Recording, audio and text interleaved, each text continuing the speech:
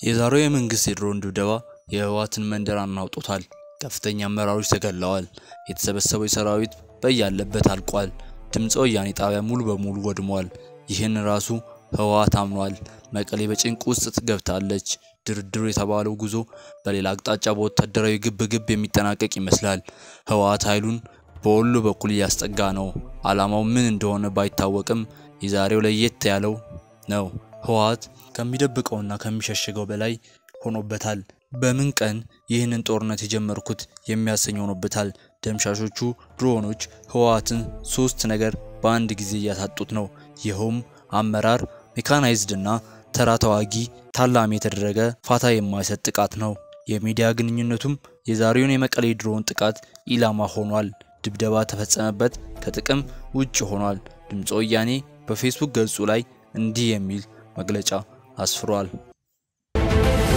በፋሽስቱ አብይ ቡድን በድሮን በትግራይ ህዝብ ላይ የተጀመረው የጄኖሳይድ ተግባር በማስቀጠል የትግራይን ህዝብና ሌሎች ጭቁን ህዝቦች ዓይንና ጆሮ እንዲሆን ልሳን በሆነው በድምፀ ወያኔ ቴሌቪዥን ጣቢያ ላይ በዛሬው መስከረም 3 ቀን 2000 ዓ.ም ጠዋት ላይ ከባድ የድሮን ድብደባ በመፈጸሙ በሰውና በንብረት ላይ ከፍተኛ ጉዳት አድርሷል።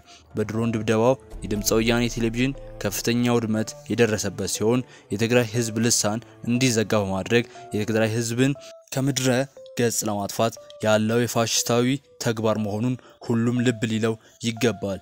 ህወሓት በራሱ በድምፀ ወያኔ ፌስቡክ ገጽ ላይ እንዲህ ሲል የደረሰውን ድብደባ ተናግሯል። የፋሽስቱ የአብይ ቡድን የትግራይ ህዝብ ድምፅ እንዳይሰማ እየተፈጸመበት ያለውን ጄኖሳይድ ከዓለም እንዳይታይ ለማድረግ ከዚህ በፊት የትግራይ መገናኛ ብዙሃንን ለማፍታት በርካታ ሙከራዎች ያደረገ ሲሆን በዛሬው ዕለትም የትግራይን ህዝብ የሚመካበትን የድምፀ ወያኔ ቴሌቪዥን ጣቢያ ከፍተኛ የድሮን ድብደባ በመፈጸም ጣቢያው እንዲሁም እና የአየር እንዲወርድ አድርጓል ብሏል። የኢትዮጵያ መንግስት ህወሓት ሰላም ሲል ምን አስቦ እንደሆነ አስረግጦ ተረድቷል። በመሆኑም የህወሓትን መግለጫና የምዕራባውያን ጫጫታ ብዙ የሴራ ፖለቲካ እንዳለው ታውቋል። ላይ ላዩን የሰላም ያለህ እያለ ትናንት ጀምሮ ከፍተኛ ቁጥር ያለው ኃይሉን በቆቦ ዋጃ ሰቆጣ መስመር ወደ ምስራቃዊው የወሎ ክፍል እያስጠጋ መሆኑን ታውቋል። የህወሓት አቅም ሲያንሰው እና ከፍተኛ እና ሽንፈት ለመውሰድ ሲያስብ የመንግስት የመደራደር ሀሳብ ተቀብሎ መስከረም አንድ ያሳወቀው ነገር ግን በኢትዮጵያ መንግስት በኩል የድርድሩ ጉዳይ በውስጥ ብዙ የፖለቲካ ሴራዎች አሉበት እና ጉዳዩ በማጣራት ጉዳይ በመቀጠል በአሁኑ ሰዓት የህወሓትን አከርካሪ በመስበር ስራ ግን በሚገባ እየተሰራ መሆን ነው። የዛሬ በማለዳ የድሮን ዱላ ደግሞ ህወሓት በቀጣይ በሚያሰራበት መልኩ ከአከርካሪው እንዲሰበር ያደረገ መሆኑ የታየው የህወሓት ብዙዎችን ትንፋሽ የሚያሳጡ ጥቃቶች ደብቆት ይገኛል። በዚህም በዛሬው ማለዳ የህወሓት ወሳኝ ወታደራዊ ኢላማዎች በድሮን ጥቃት በተከታታይ እየወደሙ መሆኑ ታውቋል።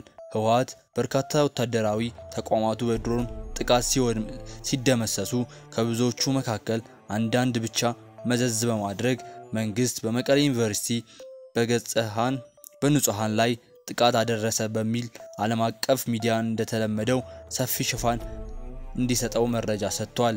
ከዚህም ጋር በተያያዘ በወጣው መረጃ የኢትዮጵያ አየር ኃይል በድሮን ጥቃቶቹ በበርካታ ቦታዎች የህወሓትን አከርካሪ የሰበረ መሆኑን ነው የገለጸው።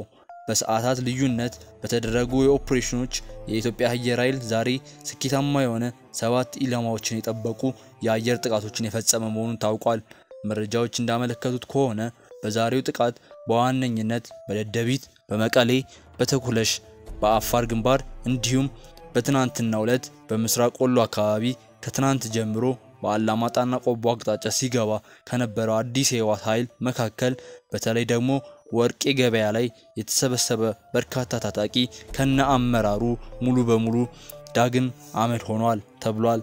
በተመሳሳይ መልኩ በማለዳው የጦር አመራር ሲቀበሉ በነበሩና ሜዳ ላይ ስብሰባቸውን በማካሄድ ላይ የነበሩ በርካታ የህወሓት ኃይሎች የዚሁ ድንገተኛ የድሮን ጥቃት ሰለባ ሆነዋል ተብሏል።